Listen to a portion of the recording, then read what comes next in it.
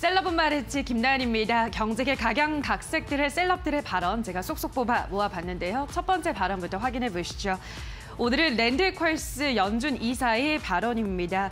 I intend to resign the last week of December of this year. 저는 올해 12월 마지막 주쯤 연방준비제도 이사회 의장직을 사임할 예정입니다. 라고 밝혔습니다. 오는 12월 말에 이렇게 이사직에서 사임한다라는 입장인데요.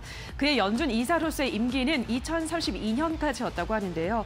바이든 대통령에게 이로써 이사를 선임할 수 있는 권한을 한 번 더 내주게 된 랜들 퀄스 연준 이사의 발언 어떻게 해석을 해야 될까요? 잠시 후 스튜디오에서 자세한 이야기 나눠보 시죠. 네, 첫 번째 이야기는 랜들 퀄스 부의장입니다. 자신이 사임을 하겠다라고 이야기를 했는데 뭐 외신들을 보니까 이게 이제 파월의 연임 가능성을 높여주는 거다. 뭐 그런 해석들도 있고 어, 바이든에게 뭔가 선택권을 주는 거나 그런 여러 가지 의견들이 있었습니다. 어, 어떻게 이거 보세요? 굉장히 지금 뭐 복잡해졌습니다. 그러니까요. 11월 6일 날 어, 지금 제롬 파월하고 어, 브레이너드 어, 뭐 이사를 바이든이 만났죠. 네, 만나서 이제 삼자 대면을 했는데. 어, 그 이후에 이제 급물살을 타고 있는데 어, 랜들 퀄스가 어, 은, 은행 감독 부의장입니다. 네네. 근데 사실 어, FOMC의 은행 감독 어, 이 기능에 대해서 민주당에서 자기 불만이 많거든요. 음. 그래서 어, 뭐 그런 점에도 이제 있었는데도 어, 사실은 뭐 이걸 바꾸고 사람을 넣고 하는 데가 굉장히 지금 복잡한 이제 셈, 네. 셈이 됐는데 아시겠지만 뭐 카플란하고 로젠그린 어, 보스턴 어, 총재가 지금 사임을 했고요. 그쵸. 그다음에 공석이 원래 하나 있었어요.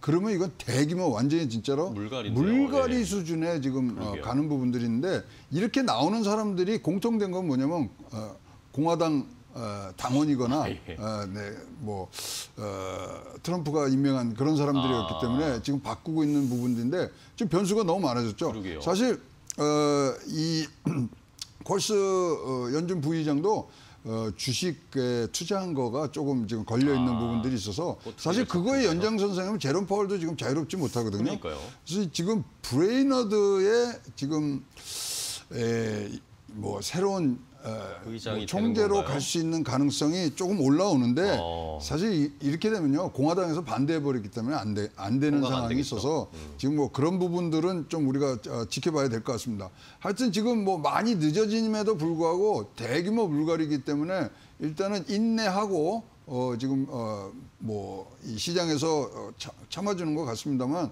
빠르게 에, 지금 진행이 돼야 되고요.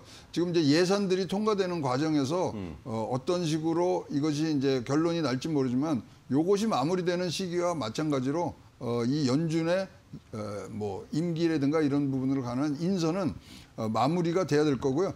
제일 늦었던 것도 조차도 사실 어, 뭐 2013년도에 래리 서머스 재무장관 네. 했을 때 자기가 막판에 안 한다 그래서 11월 초에 한 게 뭐 최장이었거든요. 그러니까요. 그래서 요거는 진짜로 있는데요. 2주 내에는 어, 끝내야 되는 지금 어, 상황이 됐다고 보여집니다. 네. 자, 일단은 랜드쿼스 부의장이 뭐 시장에서는 그나마 그래도 굉장히 규제에 관련된 이야기를 많이 하는 사람이다. 이런 이야기 평가가 있었는데 갑자기 그만두겠다라는 이야기가 나왔고 이렇게 되면은 파월 의장만 두고 이 나머지를 전부 다 민주당 쪽으로 갈아치우는 거 아닌가라는 이 생각도 들고 아니면은 어, 아예 진짜 브레이너드가 실제로 총재가 되는 것 아닌가 여러 가지 좀 해석들이 나오고 있습니다. 아직도 안개 속엔 이 차기 연준 의장의 어, 지명과 관련된 이야기는 계속 어, 살펴보도록 하겠습니다. 자 다음 이야기 확인해 보겠습니다. 다음 셀럽은 누군가요, 김남 캐스터? 네, 이번에는 지나 러몬도 미국 상무장관의 발언 함께 살펴보도록 하겠습니다. All of the CEOs in the supply chain, 모든 반도체 공급망의 최고 경영자들은 They will be submitting robust and complete data. 모든 데이터를 제출할 것으로 약속했다. 아, 전 세계 반도체 관련 기업들이 반도체 재고와 판매 데이터 제출 시한인 현지 시간 8일까지 모두 자발적으로 자료를 제출할 것으로 확신했다고 밝힌 건데요. 자, 그러면서 이렇게 덧붙였습니다. So far, they've all been cooperative. 그들은 모두 협조적이며 우리가 요구한 자료를 보내겠다고 밝혔다. 여기에 대해서 삼성과 하이닉스는 미국 정부의 요구가 지나치게 광범위하고 기업 영업 비밀을 침해한다고 우려한다고 밝히면서도 그래도 반도체 공급망을 제출하겠다라고 밝혔다고 하는데요. 자, 그렇다면 미국은 왜 이런 자료를 요구를 하는 건지 우리는 어떻게 받아들여야 할지 잠시 후 스튜디오에서 자세한 분석 들어보시고요. 셀럽은 말했지 여기서 이만 물러나도록 하겠습니다.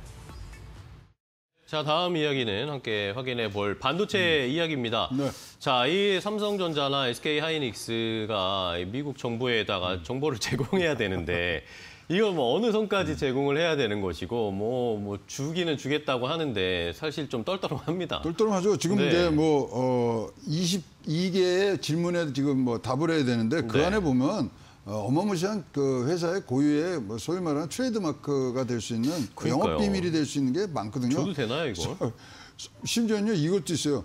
고객 우선순위 설정 방안도 내놔라 이렇게 돼 있어요. 그런 부분들이 있기 때문에 어, 아. 네. 이런 부분들을 우리가 이제 보면은 자 이걸 어떻게 해야 되느냐인데 음. 지금 어, 현지 언론에서 나온 거는 재미난 얘기는 뭐냐면 TSMC와 삼성은 굉장히 부분적으로 제공했다. 어. 근데 막판에 낸게 4개 회사입니다. 인텔하고 어, 그다음에 인피니언하고 삼성 그다음에 SK 여기가 마지막까지 이 제출할 시간 마지막까지에 딱 맞춰서 냈는데 지금 나온 거로 봐서는 부분적 제공이라고 이제 보여지고요.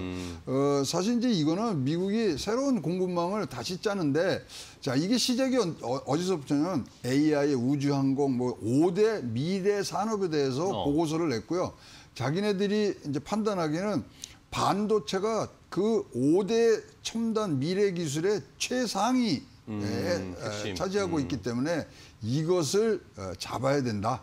아, 이러한 부분들로 지금 가고 있는데 아, 조금 하여튼 어, 우려스럽습니다만은 지금 이거는 일단은 냈기 때문에 네. 뭐, 뭐 다시 이제 들어올 수는 없습니다만 과연 이걸로 뭘 할 것이냐. 그러니까요. 예. 그리고 다음번엔 뭘 더 내놓으라 음. 그럴 것인가. 굉장히 부분적으로 영업 비밀 이런 것들은 이제 뺀 상황이기는 합니다만은 그래도 음. 이걸 갖고서 이제 뭐 내놔라 뭐 저거 음. 해라 말아라 뭐 이건 이제 소위 말하는 뭐 참견이 시작되면은 그러니까요. 굉장히 어렵기 때문에 국내적으로도 이제 우리가 좀 어, 제도적으로 이걸 막을 수 있는 방법들을 만들어야 돼요. 네. 달라 그런다고 무조건 줄 수 있는 건 아니잖아요. 그쵸. 그러면 이제 우리나라도 산업기술 유출 방지법이 지금 있는데 거기에 외국 정부에게는 뭐 이렇게 중요한 음. 정보는 내면은 형사처벌 받는다 이런 조항들이 좀 들어가야 음. 됩니다. 우리나라 그런 게 없어요. 그래서 그 요번 이제 사실 이제 문승욱 저 에, 산자부 장관이 지금 어, 올해 오늘 이제 아, 방미를 합니다. 그래서 이제 어, 만나고 네. 오고 있고 그다음에 좀 이제 이재용. 부회장이 음, 뭐또 미국에. 미국 가고 이러는 사이에 요 부분들은 어, 굉장히 좀 어떤 선은 그다음에 에, 사실 이 부, 전체 이거 뭐 자료 내라는 게 산업적인 측, 이, 뭐 접근이 아니고요. 동맹적인 저- 음. 접근을 지금 원하는 거거든요. 그래서 지금 중국에 대응하자는 거기 때문에 네. 어, 굉장히 지금 뭐 어, 어려운 방정식입니다만은 이 부분에 우리도 우리의 어떤 몫을 해놔야 음. 이것을 해서 다음 추가적인 것들이 안 들어오는 부분들이 음. 어, 있다고 생각을 해서 일단은 자 미봉으로 지금 어, 끝나고 있습니다만은 미국이 새롭게 만드는 반도체의 자국 내 공급, 공급망 음. 재건 어, 이 부분에 얼마만큼 협조하고 우리도 얼마만큼 네. 받아낼 것인가 이것이 사실 승부처라고 보여집니다. 네. 자, 일단은 뭐 미국에서 내라고 하니까 주긴 줬는데 뭐 이게 또 부족하다, 정보가 뭐 미흡하다, 불성실하다 이러면서 또 해코지를 하는 건 아닌지.